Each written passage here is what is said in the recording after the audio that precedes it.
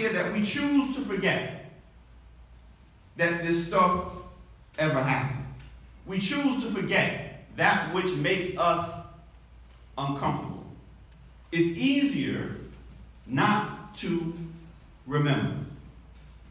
Uh, this image, I'm, I'm a big movie fan. I teach a class African American history film. I love movies, and one of my favorite movies, historical movies, is Glory.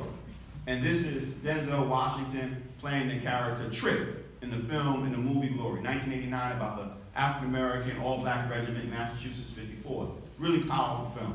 Uh, but it has its flaws. One of its flaws is that black abolitionists are almost totally silenced.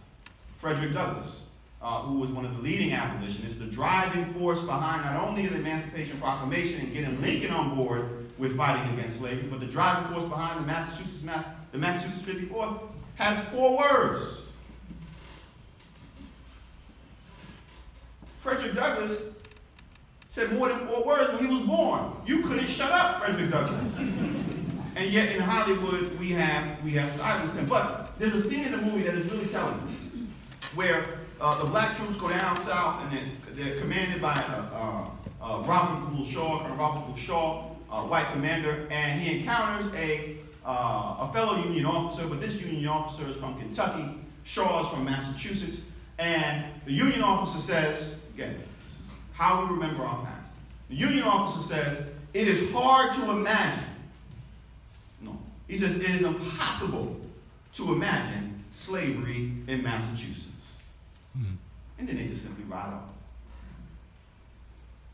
It's impossible to imagine slavery in Massachusetts. Guess what? No, it's not.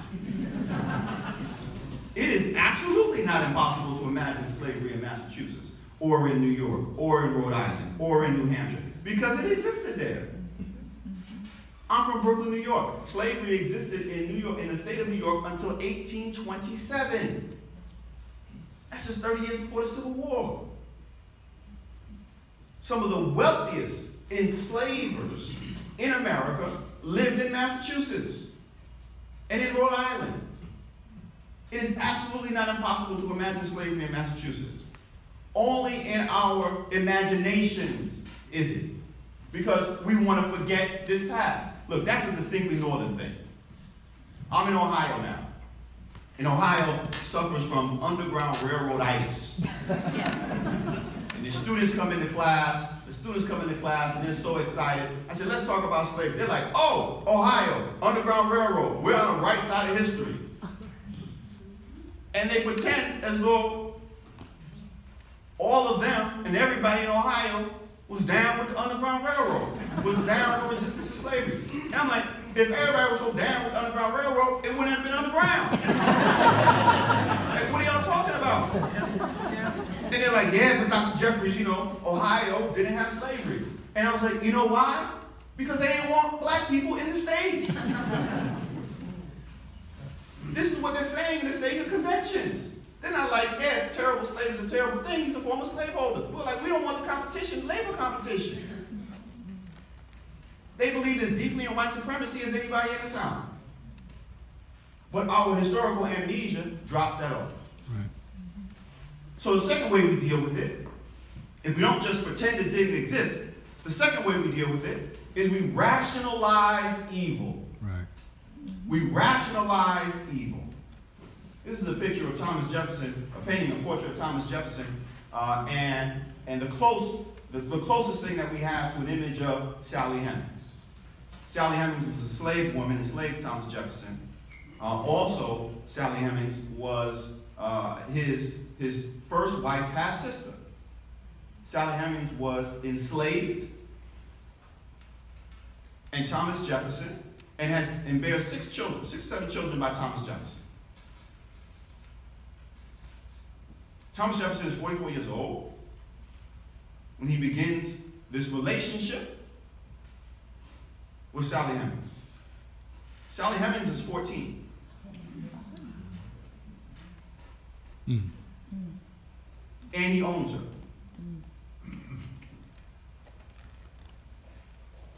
There's no parts of that mm. that can be based on love and mutual respect because the power imbalance is too great. But we rationalize it. Thomas Jefferson loved her. They just married young back then. What? They weren't married. What are you talking about? Rationalize evil. This is this is Me Too before we get Me Too.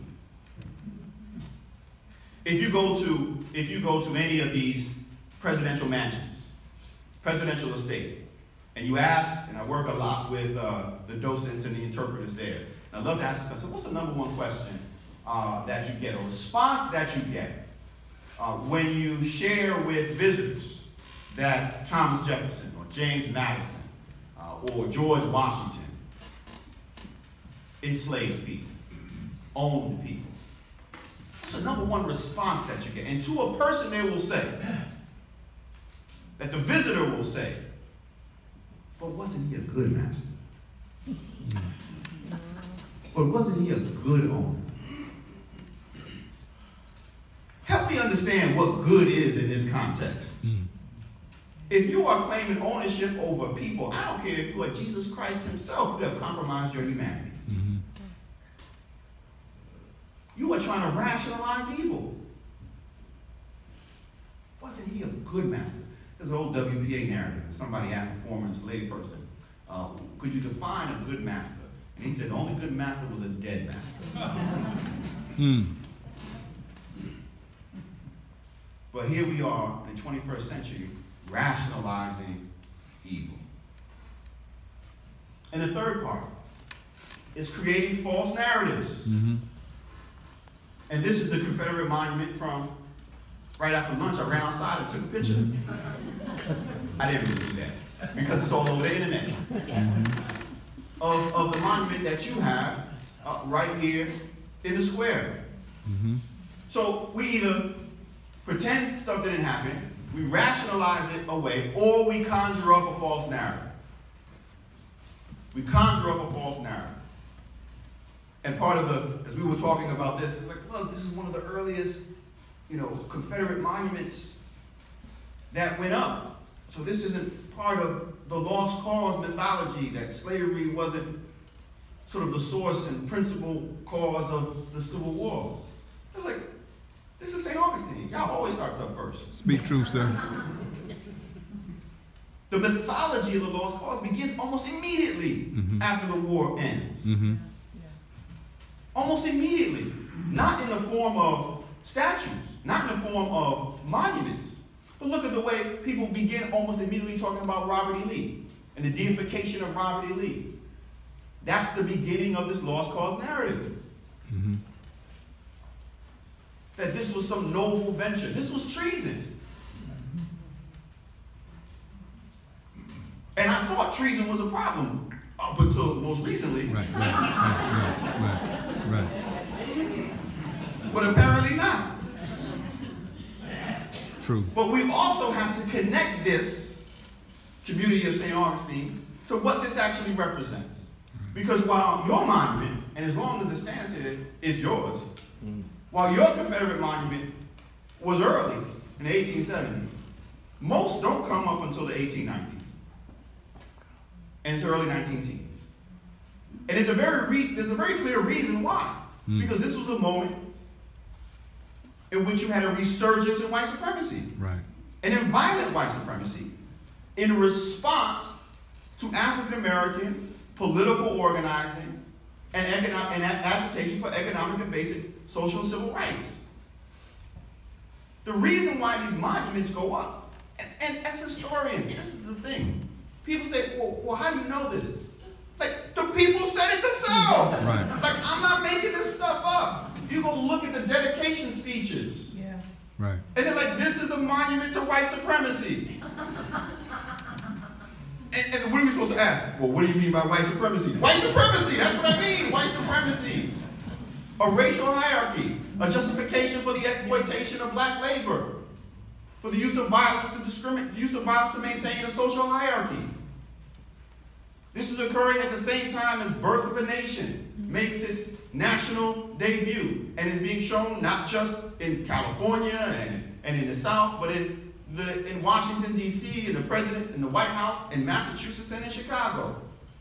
White supremacy in this moment in time when these Confederate monuments are being littered around the country, uh, the, the greatest participation trophies that Americans have ever come up with, Mm, there you go. it serves as a sort of national unifying event, phenomenon. Yes, sir. And to signal to black people That's it. that their place is not one of equality, but of any That's it. inequality. That's it. That's what those monuments represent. There's no getting around that. And the people were clear about it at the time. And it's not a coincidence that, coincidence that this is also occurring at the same time as you have a resurgence, natural resurgence of the Ku Klux Klan Right. and racial terror organizations. And again, this isn't just a Florida thing. This isn't just an Alabama thing. This is also Indiana and Ohio. Mhm. This is a national thing.